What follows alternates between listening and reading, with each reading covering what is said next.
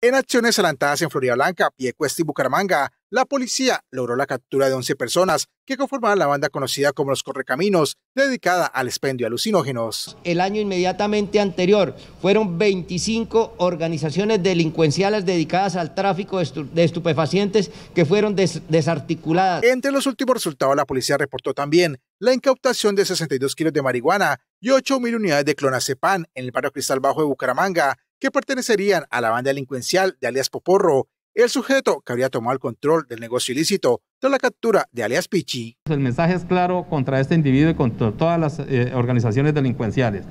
El trabajo, como les decía anteriormente, articulado con Fiscalía de manera contundente, de manera continuada, pero no vamos a permitir que sigan eh, tratando de prosperar en medio de la comunidad distribuyendo este veneno que tanto daño lo hace y como siempre lo estamos insistiendo. Además, la institución presentó 69 armas de fuego y más de 6.000 armas blancas que han sido incautadas durante el corrido 2021. Que son utilizadas para dos propósitos esencialmente. Uno, como armas eh, mm, en los momentos de intolerancia para hacer daño a las personas, para quitar vidas o lesionar. Y por supuesto como elementos de intimidación en los, eh, cuando cometen los hurtos, los atracos, los delincuentes. Dentro del balance operacional también se conoció que se recuperaron 15 tapas de alcantarilla y se capturaron dos personas en el norte de Bucaramanga que presuntamente habrían sido los encargados de robarlas en el tramo entre la Puerta del Sol y Provenza. Si tras de eso tenemos una estructura delincuencial, si es eh, un robo sistemático,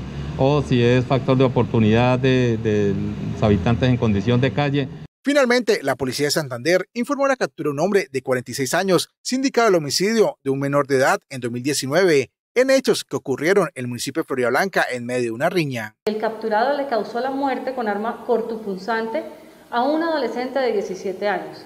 El juez de control de garantías le dictó medida de aseguramiento en centro carcelario.